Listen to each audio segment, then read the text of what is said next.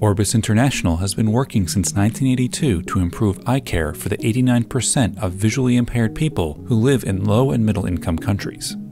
The nonprofit organization launched its third generation Flying Eye Hospital in 2016 to train local surgeons to better care for their patients while promoting eye care and global health. Donated by FedEx, Orbis's MD10 has been gutted and refurbished with all the equipment needed to train local teams and complete eye exams and surgeries. There's roughly 253 million people in the world that are visually impaired. 36 million of those are uh, blind, of which 75% of those don't have to be if you have the proper training, education, and the skills. And that's really what we're about. We're about sort of the philosophy of teach a man how to fish. So we go in, and then when we leave, they get to continue those work. So that's primarily what Orbis is about, and this plane is a teaching hospital. We're standing here in the classroom. This is the area that probably most people would look at and think that it's a passenger area where we would just haul passengers around. Well, it's actually, it does double as uh, transporting our staff around, but its primary purpose is if you look up in the corners of the room, you have some cameras. It's actually a lecture hall. The classroom is used for live interactive education and training. So uh, the TV is a 3D television. It's connected to the microscope. So the students that would sit here see exactly what they would see looking through the microscope. They can communicate with the surgeon, the surgeon can communicate with them. We're about to enter the hospital area here. You can see on the floor there's actually a ramp leading up. The reason there's a ramp here is because the actual hospital is considered freight. It's not part of the plane here. So we actually have to elevate ourselves, walk up through the doorway here that's actually a 9G barrier. The hospital consists of nine modules in the upper deck here. This is, we're in the first module behind the rigid barrier here.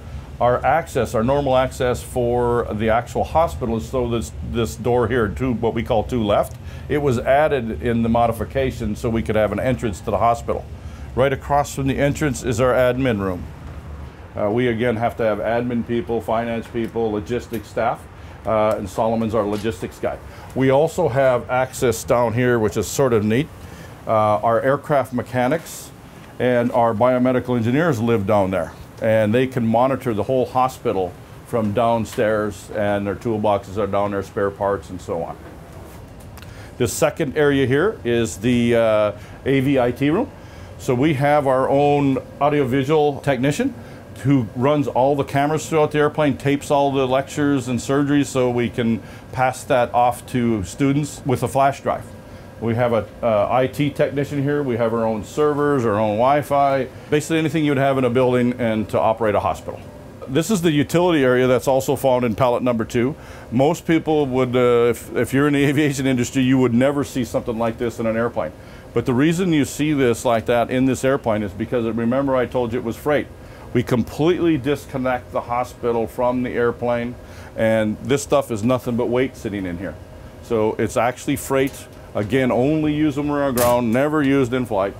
Uh, and that was one way to uh, put the hospital in there and not have the expense of the engineering of making it aircraft certified.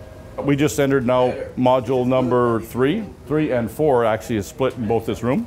Uh, this is what we consider to be our laser room. Uh, you have the lead line uh, window coverings. We have a lead line uh, curtain in here to anytime we're using lasers to make sure they don't get outside the confines of the room. It's also used for a holding area for the patients before they go back into the surgery.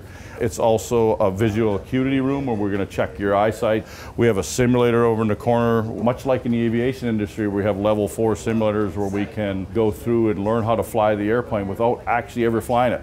And even in some cases, as we know, we can get certified as a pilot in a simulator.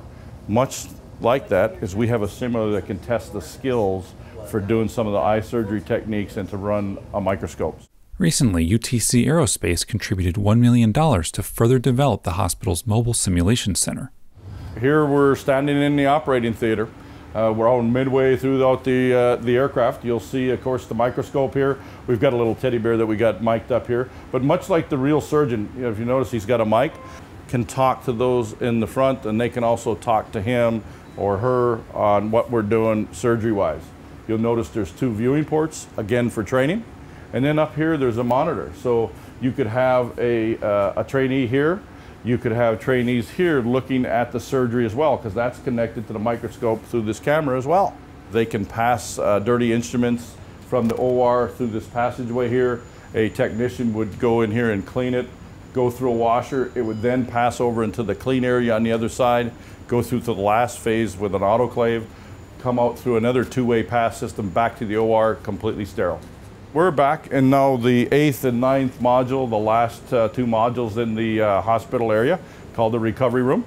So you'll see we're set up actually for three beds. The third bed is actually in the OR, so we actually use the gurney to transport up as the operating table up in the OR. But when they come back, everybody starts here and finishes here. You can see all the monitoring. We have all the oxygen systems, the heart rate machines. We have the crash cart in case something was to go wrong in the surgery. So it is completely set up as a recovery area.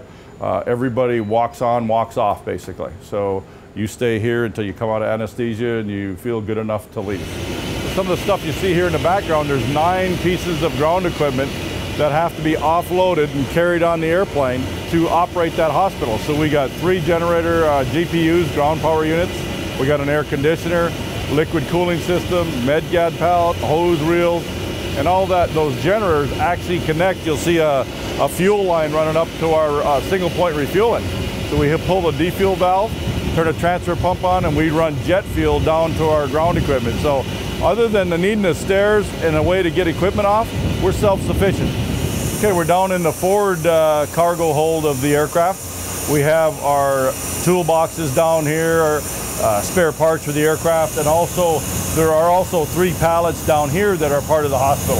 Everything from the ground equipment comes up, as you see here, goes into this system here and then runs up into the hospital. When we go to fly, again, because it's the hospital's not part of the plane and it's not certified, it all has to get disconnected, shut off, fire barrier put in here, and then we're ready for flight. Here you are in the forward section of that uh, forward cargo compartment we were talking about. This is the other two pallets that are down here. This one is the med gas pallet. This is our biomedical uh, engineer here, uh, James. And this is the aircraft maintenance module. And again, between these two stations, whether it's the medical side or the aircraft side, we can monitor the hospital and the aircraft all from within this station down here. And of course, if something's needed, we have a telephone right there that the nurse, the doctor, uh, the aircraft people upstairs can give us a call and ask us to come up and fix something. So the toolboxes, all those supplies and consumable items are held down in the aft section of the cargo compartment here. Orbis has trained approximately 40,000 doctors so far and is currently involved in 61 projects in 18 countries, including Peru, Cameroon, Ethiopia, and China.